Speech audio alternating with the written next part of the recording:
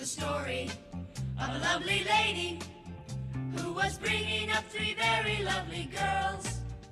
All of them had hair of gold, like their mother, the youngest one in curls. It's the story of a man named Brady who was busy with three boys of his own. They were four men living all together, yet they were all. Till the one day when the lady met this fellow, and they knew that it was much more than a hunch. That this group must somehow form a family. That's the way we all became the Brady Bunch. The Brady